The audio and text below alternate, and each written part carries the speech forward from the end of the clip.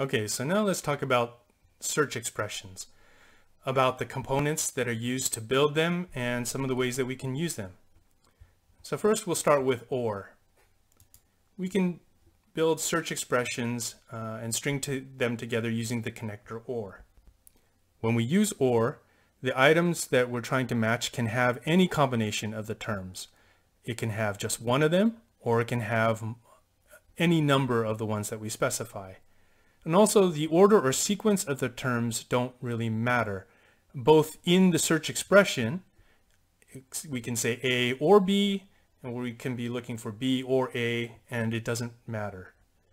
And the search terms and expressions we're looking for can be scattered anywhere throughout the document. So for example, in these results that we see here, we see that some have just one A, some have multiple copies of A, I mean, uh, instances of A in the document, or we can have items that have B as well as B as well as A uh, spread throughout. So a lot of them match.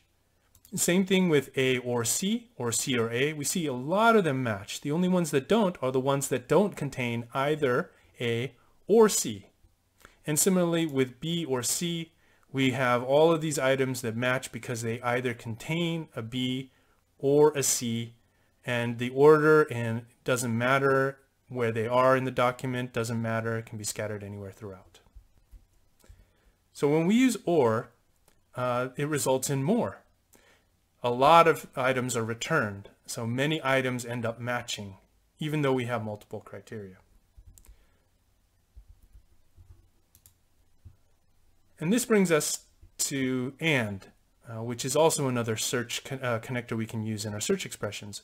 But the way the and is used, I think it's appropriate to use an analogy to explain maybe some of the differences or confusions that are used between the grammatical, the typical language usage of AND versus how AND operates in a database. The way we normally use AND, I would say is like in a lunch analogy. So if I'm really hungry and for lunch, I want to eat a hot dog and a taco and a pizza and a hamburger. That is a lot of food for lunch. So way too much, right? Because each time we're adding and it's more. It's more items for lunch. So you think and means more. And it does. But I think the more appropriate way to look at it is to think of it a usage of and in expressions as similar to online dating.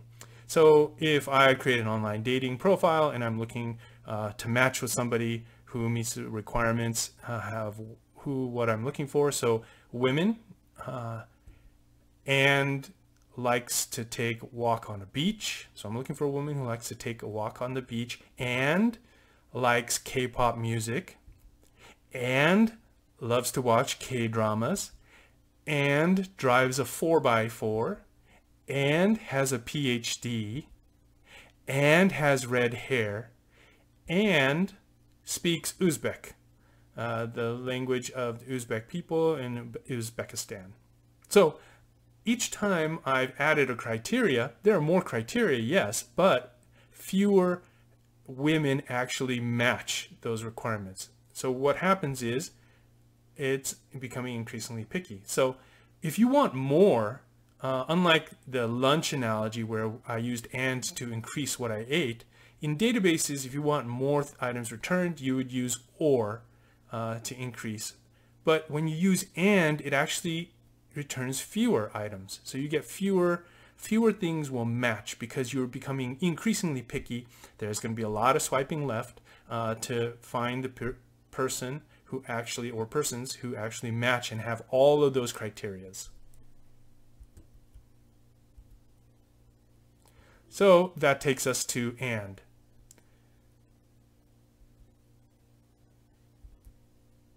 So like in the online dating example, when we use and in a search expression, items must have all of the terms that you specify in them.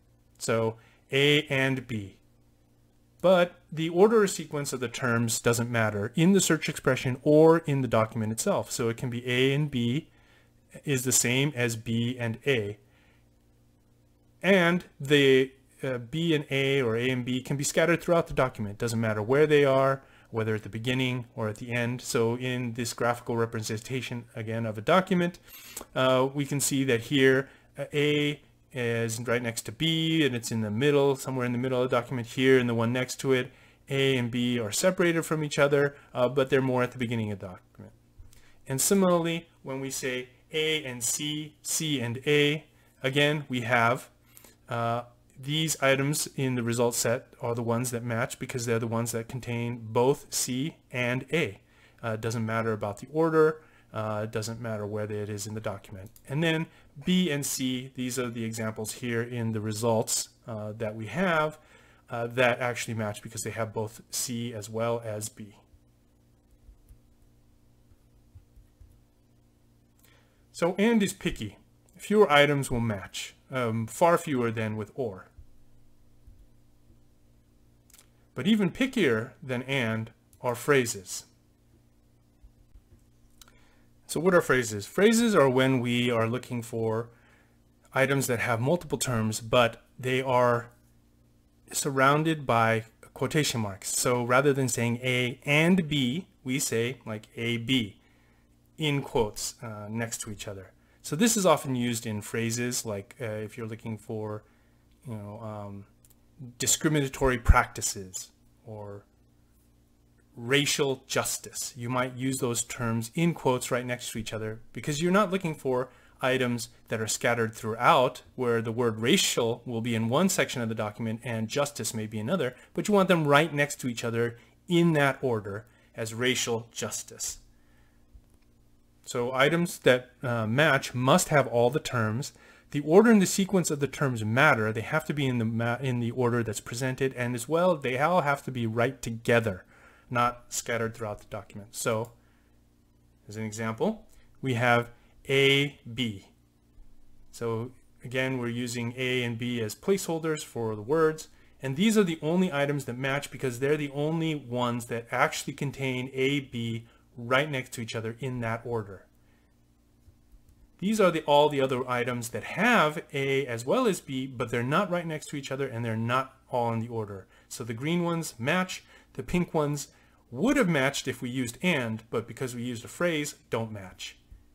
Similarly, if we have BA, then these are the only items that actually match BA because they have BA right next to each other in that order. These are the ones that would have matched if we used said B and A, these are the ones that would have matched but didn't uh, because uh, they aren't, they don't match the phrase BA right next to each other. And then this is the only one that matched BAC uh, because it's the only document in the in these documents that I have presented here that actually have BAC right next to each other in that order. These are the other items that would have matched if we said B and A and C, because they contain all of those uh, search the terms that we're looking for, but be, they don't match because they aren't in that order right next to each other. So phrases are super duper picky. So when we, we use phrases, we use them when we're looking for specific terms of art, like, you know, um, uh, racial, like I said before, like racial justice. Or let's say glass ceiling uh, so if we use just glass and ceiling, or we didn't specify it as a phrase, then it would return documents that contained a glass, ceiling, different parts of the document, uh, not next to each other. Could be see a document that had ceiling and then glass. Uh, but if we're looking for glass ceiling, we would use the phrases, the quote, quotation marks around it because it's a particular term of art. We specifically want to find that exact example. And you can also use it when you're looking for titles or quotes, things that you know are exactly in a particular order, uh, right next to each other. then you, you use the phrases to eliminate false positives and find the exact items that match exactly.